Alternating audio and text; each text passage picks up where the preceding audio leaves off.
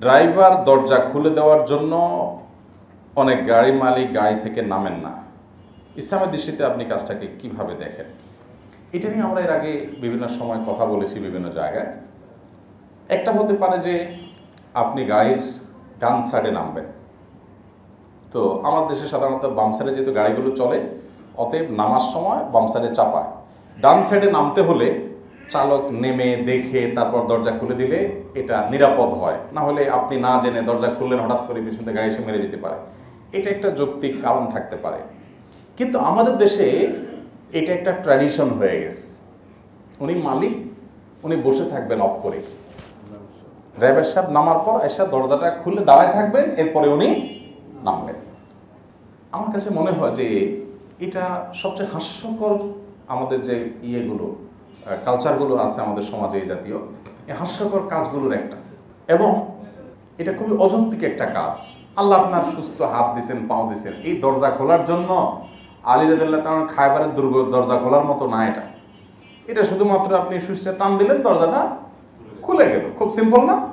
কিন্তু আপনি সুস্থ, সবল একটা মানুষ, ল্যাংড়া না, লোলা না, কিচ্ছু না। আপনি বসে রয়েছেন। যে ড্রাইভার সাহেব এ পাশ থেকে নেমে এসে বাম পাশে এসে আপনার দরজা খুলে দিবে, আপনি নামবেন, দরজাটা আটকাবে, আবার যেন সিটে বসে তারপর গাড়িটা চালাবেন। বিভিন্ন স্কুলে, হসপিটালে, পাবলিক প্লেসে আমি খেয়াল করি যে গাড়ি সিরিয়াল পড়ে গেছে অনেক দূর পর্যন্ত। আমরা যদি এই অপসংস্কৃতি এটাকে রোধ করতে পারি এবং এই বদ অভ্যাস আমাদের মধ্যে থেকে যদি আমরা দূর করতে পারি তাহলে এই পাবলিক প্লেসগুলোর জ্যাম অনেকখানি কমে যাবে। ধরেন আপনি একটা স্কুলে বা একটা হসপিটালে বা কোনো একটা জায়গায় গাড়ি থেকে নামতেছেন। আপনি গাড়িটা থামার সাথে সাথে টপ করে দরজাটা খুলে আপনি বের হয়ে যান, ডানে আমি খেয়াল করে আপনি নেমে যান। তাহলে সেক্ষেত্রে যে সময় লাগবে, আপনার ড্রাইভার সাহেব ডান পাশ থেকে দরজা খুলে এসে উনি থামাবেন গাড়ি, এরপরে হ্যান্ড ব্রেক দিবেন। হ্যান্ড ব্রেক দিয়ে তারপর দরজা খুলে আসবেন। এসে এবার বাম পাশে খুলে ধরে রাখবেন। আপনি এবার মোসে তাও দিতে দিতে আস্তে আস্তে নামবেন বাপসাপ নিয়ে। এরপর উনি আবার দরজাটা আটকাবে। আবার আপনি এসে সিটে বসবেন। মিনিমাম এক মিনিট সময় তো লাগবে। তাহলে পঞ্চাশটা গাড়ি যদি এই একই সিস্টেম ফলো করে, কত মিনিট যাবে? পঞ্চাশ মিনিট মানে কি? এক ঘণ্টা। একটা পাবলিক প্লেসে এক ঘণ্টার জ্যাম রোধ করা যায়। যদি এই বদভ্যাসটা আমরা ত্যাগ করতে পারি।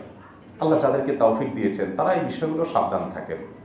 যে না, ড্রাইভার দরজা খুলে দিবি, তারপরে আমি এসে নামবো। এর ভিতরে কোনো ব্যাটাগিরি নাই হ্যাঁ কোনো বড় রাজা, বাদশাহ, প্রেসিডেন্ট বা ওইরকম লেভেলের মানুষ তাদের নিরাপত্তার ব্যাপার স্যাপার আছে, সেটা আরেক হিসাব। ভাই, আপনি আমার মতো মানুষ তো এরকম কিছু না যে নিরাপত্তার ব্যাপার স্যাপার আছে। ওনাদের তো নিরাপত্তার জন্য আগে, পরে, সামনে, পিছে লোকজন থাকে। আপনার এরপরে ড্রাইভার সাহেব দরজা খুলে দিবে, এরপর আপনার নিরাপত্তা কে দিবে। তাহলে এই বদভ্যাসটা যারা গাড়ি আছে যাদের, তারা ত্যাগ করার চেষ্টা করবে। এটাতে ড্রাইভার সাহেবের সময় নষ্ট হয় এবং এগুলো হলো গোলামি আর কি। ওই ড্রাইভার সাহেবের গোলাম মনে করার মতো। না, ব্যাপারটা এরকম না। হ্যাঁ একজন বৃদ্ধ মানুষ নামছে ডেফিনেটলি তাকে হেল্প করবে এসে, সেটা ভিন্ন বিষয়। আপনি সুস্থ সবল মানুষ মাসাল্লাহ হন হনায় হেঁটে যাবেন একটু পরে। এখন বসে আছেন আপনি দরজা খুলবেন, আপনার খুলে বসতে এগুলো খুবই মানে হাস্যকর একটা কালচার সোজা কথা। এটা এটা সুস্থ মানুষ, এই যে অপেক্ষা করেন দরজা খুলে দিবে, লজ্জা হওয়া উচিত। আল্লাহ আমাদেরকে সংশোধন হওয়ার তফিক দান করুন। আপনারা যারা গাড়ি মালে গেছেন মন খারাপ করেন না, রাগ করেন না। পারলে বদভ্যাসটা ত্যাগ করে দিয়েন। কাজটা কি ভালো না খারাপ সেটা বলেন। এই কয়, ভালো বলে। তাইলে বসে থাকেন দরজা এরকম। ওই বাসা যায় বেগম সাহেবের ওখানে যে এরকম দাঁড়ায় থাকেন, আপনি খোলেন, আমি তারপর ডুববো। ভালো ছুটে দিব তখন। শুধু ড্রাইভারের উপরে সব টর্চার করতে আসেন। ভাই, আমরা এই বদভ্যাস ছাড়বো তো ইনশাল্লাহ আসুন্নাহ ফাউন্ডেশন উম্মার স্বার্থে সুন্নার সাথে